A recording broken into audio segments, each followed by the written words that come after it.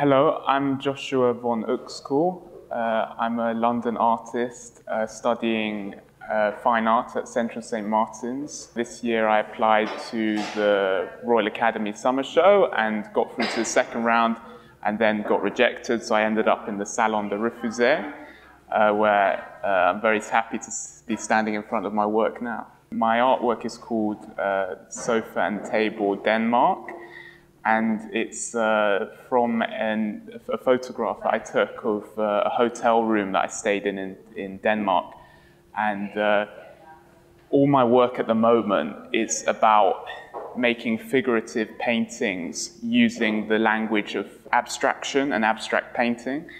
And so I found that the, these kind of interiors, these modern interiors and quite anonymous uh, interiors of hotel rooms uh, were perfectly suited to this kind of, um, this aesthetic, this kind of uh, style of painting. I took part in a summer school last year at the National Portrait Gallery uh, where we did, uh, we made portraits of a life model and uh, now they're going to have the uh, BP Portrait Award up and outside the BP Portrait Award they have a selection of uh, these, these paintings that we did, um, and mine's going to be one of them. I was quite uh, surprised when I came in because I thought it was going to be really, really big, and it's, it's, it's much, uh, much, fewer, much fewer works than I expected.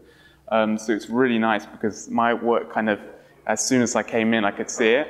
Um, but uh, yeah, I was uh, really, really enjoyed it. I, I liked how there's sculpture around and there's um, all kinds of different uh, styles of painting and, and photography. Really nice area to be in. I just was like really excited. Just uh, brought my family today and they were really so excited to see my work on shows.